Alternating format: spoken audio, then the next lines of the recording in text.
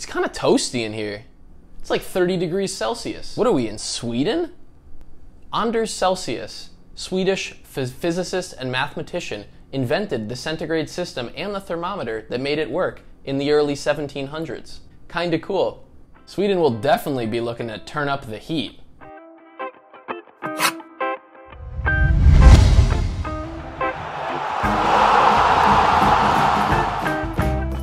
Group E consists of Sweden, Spain, Poland, Slovakia, and we're gonna start with the favorites Spain, minus 250 odds to win the group, pretty heavy favorites.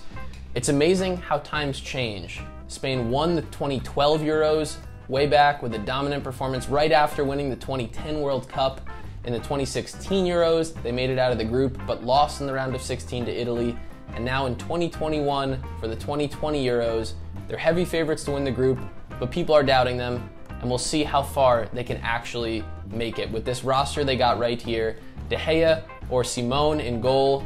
De Gea with a tough season for Man U, and Simón the unexpected possible choice keeper for Atletico Bilbao.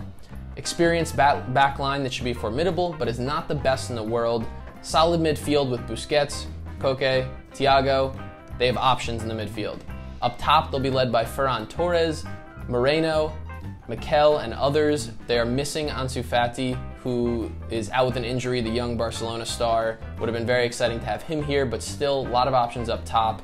And they have a really solid all around roster. So here's what the starting lineup could look like. Seeing if they can dominate the center, center of the midfield, dominate possession, and leave some room for their wingbacks and wingers to make things happen. They don't have individual players that are going to overwhelm you with talent like an Mbappe, like a world beater, but they do have a team that could easily sweep Group E. No Real Madrid players on the roster, which is the big story for the first time in a long time, including no Asensio, Carvajal, Sergio Ramos, their captain in past years.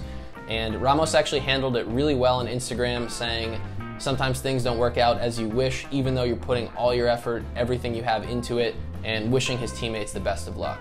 Spain also gets to play all their group stage matches in Seville, while the other three teams have to rotate between Seville and St. Petersburg. Guess that's just how the cookie crumbles. Second team in this group, Poland. Ever heard of Robert Lewandowski? Well, this man, at age 32, put himself in the running for the Ballon d'Or this year while breaking the Bundesliga single season scoring record for Bayern. Absolute legend, even as he gets older. He will be leading Poland to glory if they do anything this tournament. It's going to be through him. Does he have enough support to make it out of Group E? That's really the question here for Poland. They actually do have a good mix of veterans and promising youngsters. Veterans like Bednarek in the back line, youngsters like Klich in the midfield, Leeds player, or Jakub Moder, young midfielder on Brighton. Uh, in the midfield, he's another guy to watch out for. Poland should really make it out of the group stage. We'll see how that goes for them. Third team, Sweden. They qualified for every European championship since 2000, but they've only made it out of the group stage once, and that was in 2004. So it's been a while for them since they've gone any anything beyond the first three games. They really struggled in recent tournaments, but this could be their chance to make it out of the group with a strong second place finish or a strong third place finish and, and take one of those final spots. They stick with the traditional 4 4 2, so nothing too crazy there.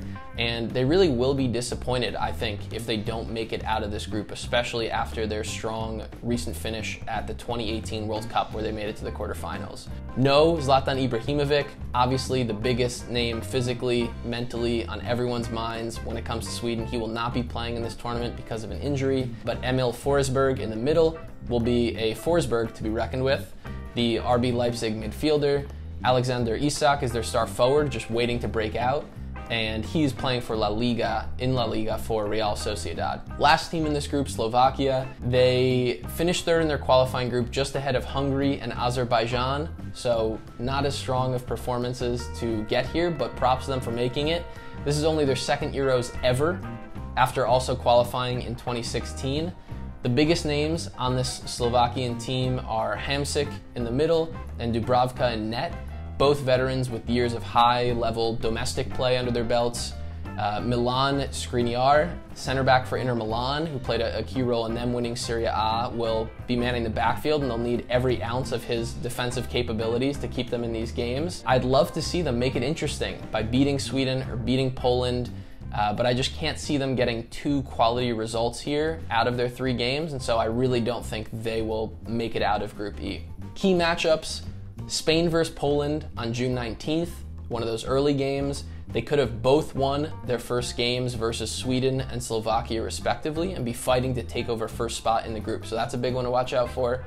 And then the final game in this group Sweden versus Poland, both fighting for a top spot in that last game that could be the game that decides who gets the second spot, who makes it out of the group. I think it's going to be Spain and Poland. I do think Lewandowski is just that good of a player to get them over the hump, have them beat Sweden, have them make that make it out of the group, and I think Spain will finish pretty handily on top of the group, even without Real Madrid. Still a lot of talent all over the pitch. Who do you think will come out of Group E in Euro 2020? Let us know in the comments, and we're looking forward to it.